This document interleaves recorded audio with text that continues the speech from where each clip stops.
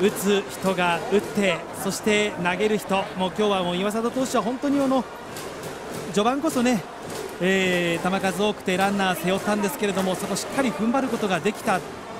これは来シーズンに向けて本当にこういい、ね、そうですね。だからそれそれで打線がリズムに乗ったと思いますよね。はい。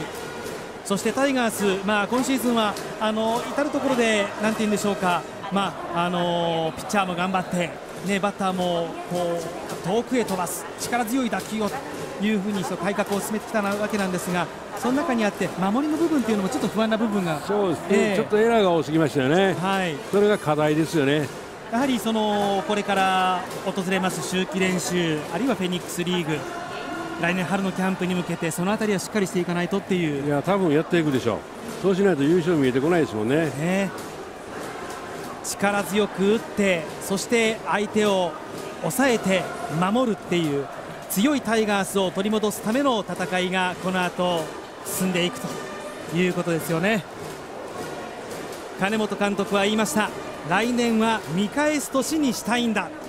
ファンの皆さんと共に歩んでいきたい。そんな決意の感じられる最後の挨拶でした。超変革を掲げて進んでまいりました。2016シーズン。レギュラーシーズンは幕を閉じようとしています。超変革の次の景色をファンの皆さんと共に楽しんでいきたいと思います。解説は黒田正弘さんでした。どうもありがとうございました。どうもありがとうございました。実況は堀江義信でお伝えしてまいりました。それでは阪神甲子園球場からお別れいたします